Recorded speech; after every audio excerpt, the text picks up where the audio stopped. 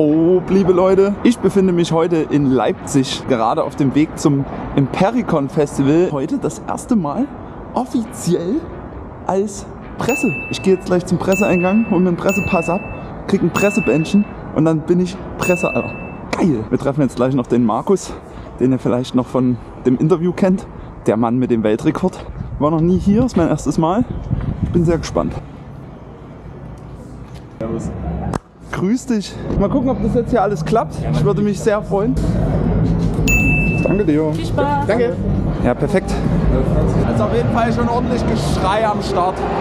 Das hören wir gerne. Von der Bühne angeschrien werden in der schwitzigen Halle bei dunklen äh. Gibt nichts Besseres. Wir haben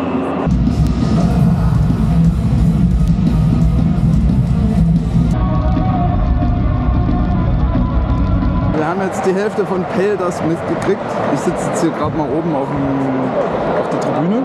Es ist schon mal geil, dass es halt zwei Bühnen nebeneinander sind und die sich immer abwechseln. Da bin ich immer ein großer Fan davon. Ich muss ehrlicherweise zugeben, ich kenne viele Bands, die dieses Jahr im Line-Up sind, nicht so gut.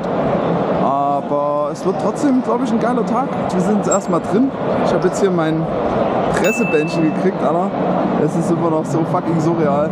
Ich hoffe, ich komme dann noch damit in den Graben rein und so und dann äh, machen wir heute ein paar richtig geile Shots. Ich gebe jetzt erstmal meinen Rucksack ab und dann gucke ich mir mal ein bisschen das Gelände hier an und dann werden wir uns einfach ein bisschen Musik um die Ohren ballern lassen. Let's go!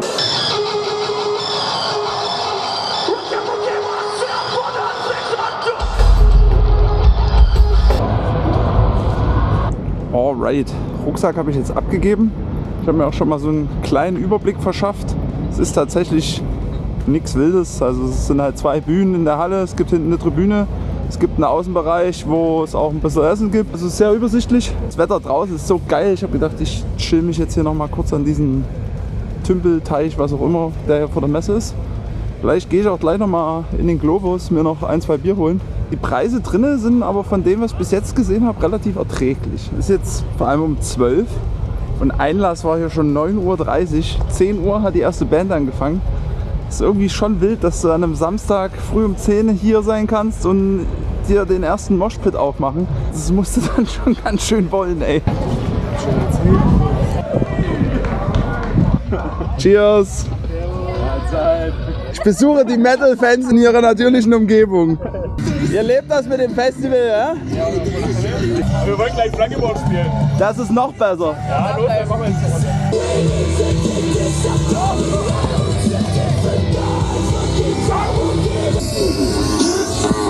Oh Mann, ey.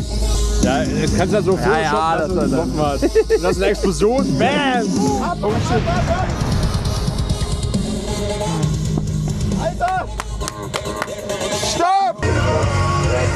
Kannst du so Explosionen rein photoshoppen? Auf jeden Fall.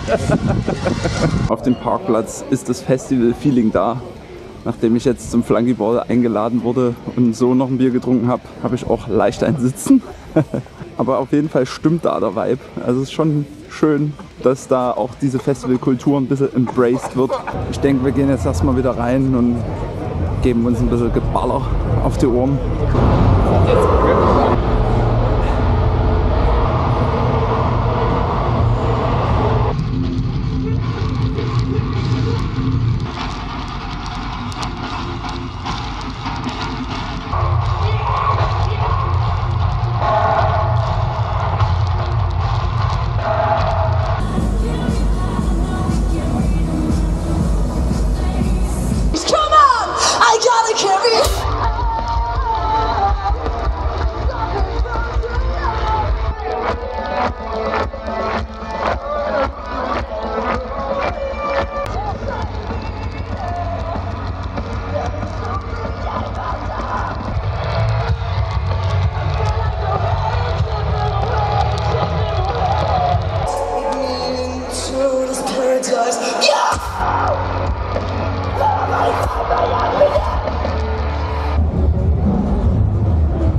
Auf der Bühne brauchen wir jetzt Toni. Toni kommt zu uns und Bereithaltung tut sich.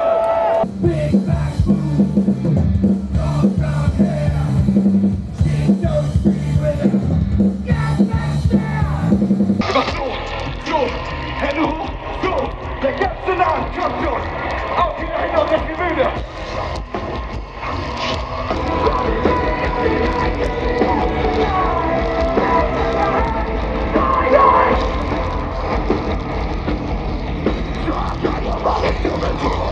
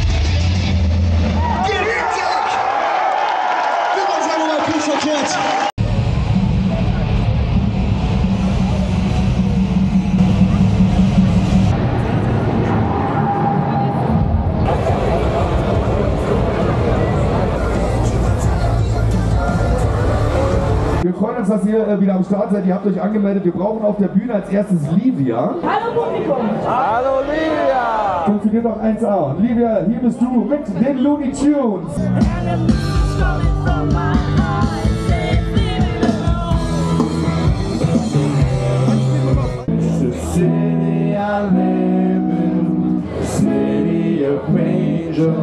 Wir haben jetzt ein paar Bands geguckt.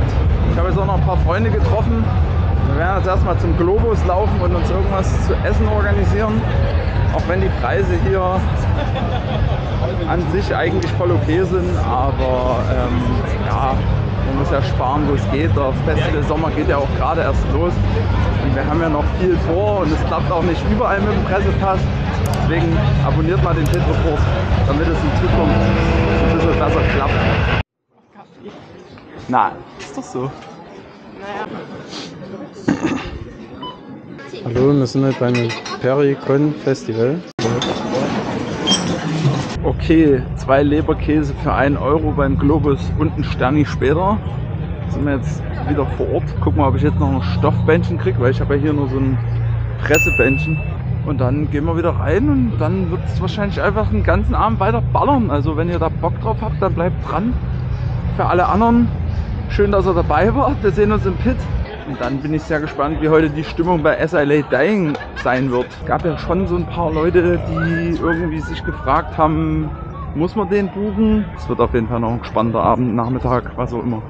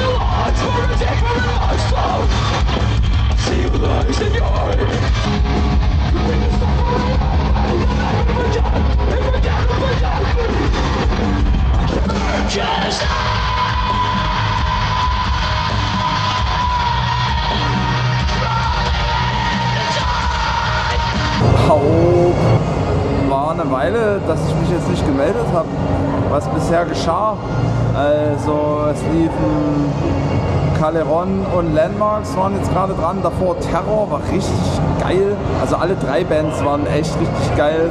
Ich finde es einfach sau fett, dass ich in den Bühnen graben darf. Ich hoffe, die Aufnahmen werden halb so gut, wie ich denke, dass sie sind. Ich habe jetzt zum ersten Mal meine neue Kamera dabei. Ich habe auf jeden Fall den ganzen Tag schon einen ziemlich guten Pegel. Und vor allem steigen die Setlängen, was mir sehr gut gefällt, weil heute früh, heute Nachmittag haben die alle so 25 Minuten, halbe Stunde gespielt. Ich bin da nie so ein Fan davon. Landmarks war bis jetzt wirklich, kann man sagen, das Highlight des Tages. Ich hatte die nicht auf dem Schirm. Als nächstes spielt Polaris, dann August Burns Red, While She Sleeps und dann der Headliner SILA Dying.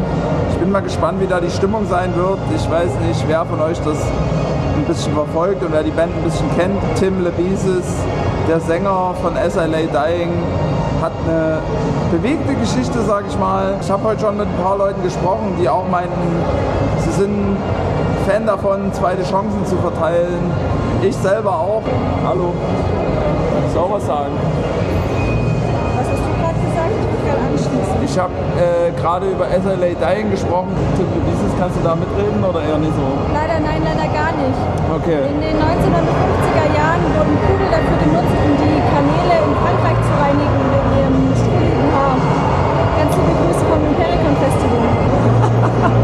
gemerkt habt, die Leute sind sehr nett. Es ist ein guter Vibe. Es ist wirklich auch ein schönes Festival, da kann man nichts sagen. Jetzt fangen gerade Polaris an. Ich denke, das werde ich mir mal aus dem Graben geben, weil ich habe ja einen Pressepass, Alter. Ich melde mich dann später nochmal bei euch.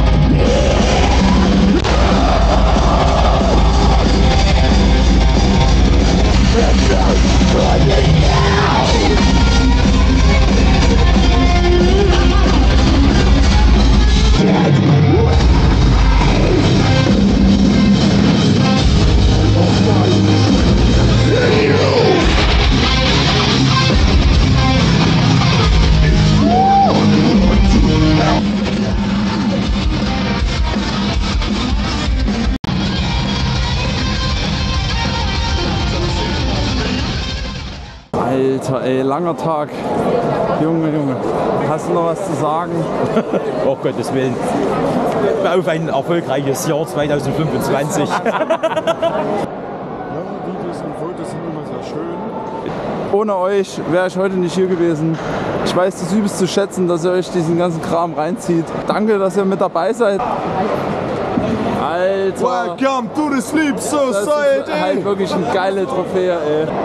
Und das war's vom Pericon Festival in Leipzig. Sorry, dass das heute ein bisschen chaotisch war. Ich war ein bisschen damit überfordert, dass ich in den Bühnen graben durfte. Es war ein sehr schönes Festival, muss ich sagen. Gibt eigentlich nicht viel zu meckern. Der Highlight des Tages war auf jeden Fall Why She Sleeps. Kranker Auftritt, hat übelst Bock gemacht. Danke Impericon für die Einladung. Es hat mir sehr viel Freude bereitet. Gerne wieder. Das war's von hier aus der Messe. Vielen Dank fürs Zuschauen. Abonniert den Pit Report, um weitere News, Reviews, Berichte und alles weitere rund um die Live-Branche nicht zu verpassen. Und wir sehen uns im Pit, Alter.